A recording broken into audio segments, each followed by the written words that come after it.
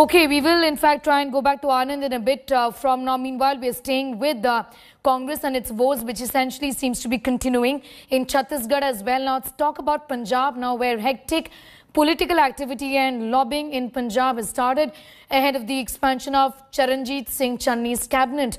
Sources say the former Punjab Congress chief Sunil Jakhar, who was on a warpath after being ditched for a Sikh chief minister, met Gandhi Science Rahul and Priyanka.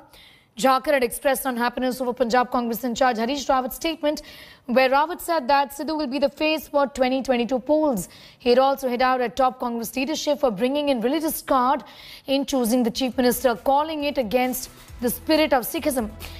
Meanwhile, sources have told India today that the cabinet expansion may take place this week itself. Key aides of Captain Amarinder, who is on a warpath as well, even heading out of the Gandhis are likely to be dropped. New faces Gurkirat Singh Kotli, Sangat Singh among others might be included in the cabinet. Brahm Mohindra also might become the speaker.